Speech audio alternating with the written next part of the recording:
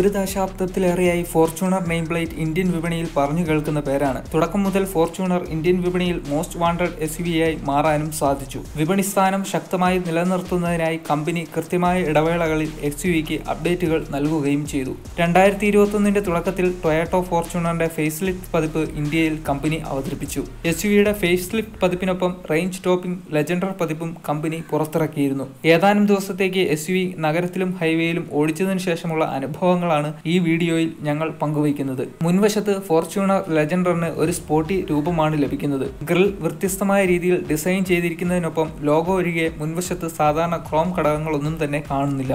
പുനർരൂപകൽപ്പന ചെയ്ത ഹെഡ്ലാം ക്ലസ്റ്ററും ലെജൻഡറിന് ലഭിക്കുന്നു. ഡി ആറിലുകൾ ഗംഭീരമായി കാണപ്പെടുന്നു. ഹെഡ്ലാം ക്ലസ്റ്ററിൽ കുറഞ്ഞ ബീമിനായി രണ്ട് പ്രൊജക്ടറുകളും ഉയർന്ന ബീമിനായി രണ്ട് റിഫ്ലക്ടറുകളുമാണ് കമ്പനി നൽകിയിരിക്കുന്നത്. ഹെഡ്ലാമ്പുകൾക്ക് തൊട്ടുതാഴെയായി ഫോഗ് ലാമ്പുകളും ഇടം പിടിക്കുന്നു. അതിനിടയിൽ പാർക്കിംഗ് ലൈറ്റുകളും സജ്ജീകരിച്ചിട്ടുണ്ട് സൈഡ് പ്രൊഫൈലിലേക്ക് നോക്കുമ്പോൾ പതിനെട്ട് ഇഞ്ച് ഡ്യുവൽ ടോൺ അലോയ് വീലുകളാണ് വാഹനത്തിന് ലഭിക്കുന്നത്. അത് ചെറിയ ഡീപ് ഡിഷ് പാറ്റേൺ ഉൾക്കൊള്ളുന്നു. ഇത് എസ് യുവിക്ക് സ്പോർട്ടി നിലപാട് വർദ്ധിപ്പിക്കുന്നു. വശങ്ങളിൽ വാതിൽ ഹാൻഡിലുകളിലും ക്രോം ഘടകങ്ങൾ നൽകിയിരിക്കുന്നത് കാണാൻ സാധിക്കും. സ്പോർട്ടി ലുക്കിന് അനുസൃതമായി ഫംഗ്ഷണൽ റൂഫ് റെയിലുകളും ഒരു ഷാർപ്പ് വിൻ ആന്റിനയും എസ് യുവിക്ക് ലഭിക്കുന്നുണ്ട്. പിൻഭാഗത്തേക്ക് നീങ്ങുമ്പോൾ എസ് യുവിക്ക് രണ്ട് ജോഡികളായി വിഭജിച്ചിരിക്കുന്ന ഒരു നേർത്ത രൂപത്തിലുള്ള എൽ ഇ ഡി ടെയിൽ ലൈറ്റുകളാണ് ലഭിക്കുന്നത്. ടെയിൽ ലൈറ്റുകളെ ഫോർച്യൂണർ ബ്രാൻഡിങ്ങുമായി ബന്ധിപ്പിക്കുന്ന തിളങ്ങുന്ന ബ്ലാക്ക് സ്ട്രിപ്പും ഇതിന് ലഭിക്കുന്നു. ക്രോം ബാഹ്യരേഖകൾ ഉപയോഗിച്ച് ബ്ലാക്കിൽ പൂർത്തിയാക്കിയ ഒരു ലെജൻഡർ ബാച്ചും പിന്നിൽ കാണാം. അകത്തളത്തിലേക്ക് വന്നാൽ ലെജൻഡറിന് ഡുവൽ ടോൺ അപ്പോൾസ്റ്ററിയാണ് ലഭിക്കുന്നത്. അത് ഇന്റീരിയറിനെ സ്പോർട്ടിനസ് ആയി കാണുന്നതിന് സഹായിക്കുന്നു. ഡാഷ്ബോർഡിലും വാതിൽ പാനലുകളിലും ധാരാളം സോഫ്റ്റ് ടച്ച് മെറ്റീരിയൽ കാണാൻ സാധിക്കും. എസ് വിക്ക് ചുറ്റും വൈറ്റ് ആംബിയൻ ലൈറ്റനിങ്ങും ലഭിക്കുന്നു. അത് ക്യാബിന് ഒരു മികച്ച അനുഭവം നൽകുകയും ചെയ്യുന്നു. ആൻഡ്രോയിഡ് ഓട്ടോ ആപ്പിൾ കാർപ്ലേ എന്നിവ ഉൾക്കൊള്ളുന്ന എട്ട് ഇഞ്ച് ഇൻഫർടൈൻമെന്റ് സിസ്റ്റമാണ് സെൻട്രൽ കൺസോളിൽ ഇടം പിടിക്കുന്നത്. ടച്ച് പ്രതികരണം മികച്ചതെന്ന് വേണം പറയാൻ. അതിന് തൊട്ടുതാഴെ ഓട്ടോമാറ്റിക് ക്ലൈമറ്റ് കൺട്രോളും താപനിലയും ഫാൻ വേഗതയും കാണിക്കുന്നതിന് ഒരു എൽ സി ഡി സ്ക്രീനും ലഭിക്കുന്നു. ഗിയർ ലിവറിന് മുന്നിലായി രണ്ട് കപ്പ് ഹോൾഡറുകളുമുണ്ട്. കൂടാതെ ഇതിന് വയർലെസ് സ്മാർട്ട് ഫോൺ ചാർജറും ലഭിക്കുന്നു. സ്റ്റിയറിംഗ് വീൽ ലെതറിൽ പൊതിഞ്ഞ് മനോഹരമാക്കിയിരിക്കുന്നു. പാട്ടുകൾ മാറ്റുന്നതിനോ വോളിയം കൂട്ടാനോ കുറയ്ക്കാനോ കോളുകൾ സ്വീകരിക്കാനോ നിരസിക്കാനോ താല്പര്യപ്പെടുമ്പോൾ സ്റ്റിയറിംഗ് മൗണ്ട് ചെയ്ത നിയന്ത്രണങ്ങൾ ഇത് എളുപ്പമാക്കുന്നു.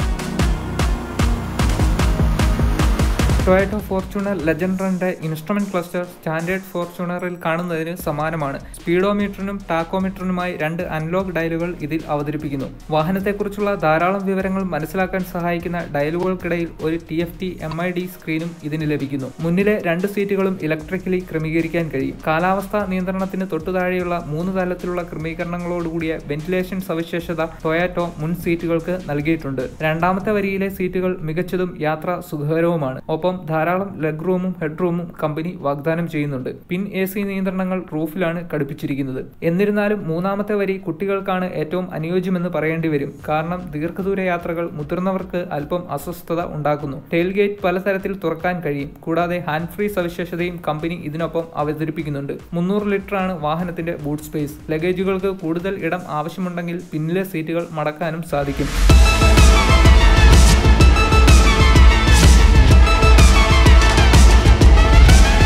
ഫോർച്യൂണർ ലെജൻഡറിന് രണ്ടേ പോയിന്റ് എട്ട് ലിറ്റർ ടർബോ ചാർജ് ഡീസൽ എഞ്ചിനാണ് കരുത്ത് നൽകുന്നത്. മൂവായിരം മുതൽ മൂവായിരത്തി നാനൂറ് ആർ പി എമ്മിൽ ഇരുന്നൂറ്റൊന്ന് ബി എച്ച് പി കരുത്തും ആയിരത്തി അറുന്നൂറ് മുതൽ രണ്ടായിരത്തി എണ്ണൂറ് ആർ പി എമ്മിൽ അഞ്ഞൂറ് എണ്ണം ടോർക്കുമാണ് ഈ യൂണിറ്റ് ഉൽപ്പാദിപ്പിക്കുന്നത്. ആർ സ്പീഡ് ഓട്ടോമാറ്റിക് ഗിയർ ബോക്സിൽ മാത്രമേ ഫോർച്യൂണർ ലെജൻഡർ ലഭ്യമാകൂ.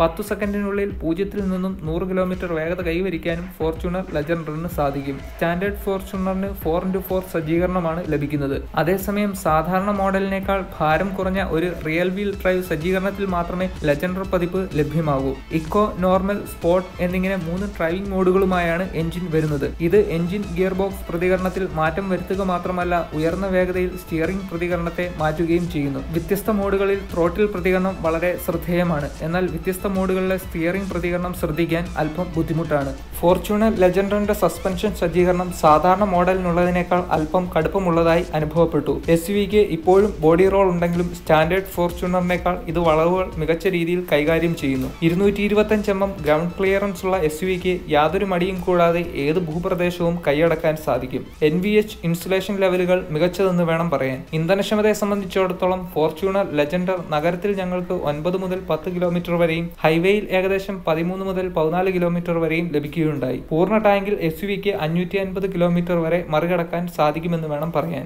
രണ്ടായിരത്തി ഒൻപത് മുതൽ ഫോർച്യൂണർ അതിന്റെ സെഗ്മെന്റിൽ ഏറ്റവും കൂടുതൽ വിറ്റഴിക്കപ്പെടുന്ന എസ് യു ആണ്. പുതിയ ലെജൻഡർ പതിപ്പ് രാജ്യത്തുടനീളം എസ് യു വികളുടെ ജനപ്രീതി വർദ്ധിപ്പിക്കുമെന്ന് വേണം പറയാൻ. Sunroof hill hold hill descent control സവിശേഷതകൾ ലെജൻഡർ പതിപ്പിൽ കമ്പനി വാഗ്ദാനം ചെയ്യുന്നില്ല. ഈ സവിശേഷതകൾ കൂടാതെ എസ് യു വി മറ്റെല്ലാ കാര്യങ്ങളിലും മികച്ചതായി കാണപ്പെടുന്നു. ഫോർച്യൂണർ ലെജൻഡറിന് ഏകദേശം നാൽപ്പത്തിയാറ് ലക്ഷം രൂപയോളമാണ് ഓൺ റോഡ് വില വരുന്നത്. ഇന്ത്യൻ വിപണിയിൽ M G Gloster Ford Endeavour എന്നിവയ്ക്കെതിരെയാണ് Fortuner Legender മത്സരിക്കുന്നത്. വാഹന ലോകത്തെ കൂടുതൽ വാർത്തകൾക്കും വിശേഷങ്ങൾക്കുമായി ട്രൈസ്പാർക്ക് മലയാളം ചാനൽ സന്ദർശിക്കുക സബ്സ്ക്രൈബ് ചെയ്യുക.